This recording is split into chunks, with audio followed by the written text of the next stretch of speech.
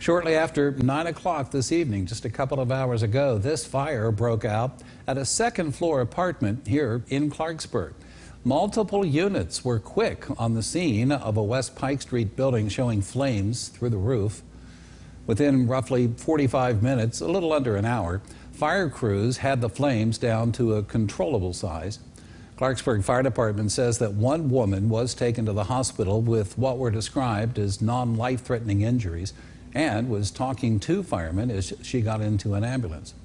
Five dogs also taken from that building, none suffering any apparent injuries. Fire crews, as we say, still on scene looking for hot spots there. And traffic in the area is, of course, still restricted. 12 News will report any new findings as this situation allows. There are, again, five apartments on the second floor of this building, damages still being assessed as this situation allows.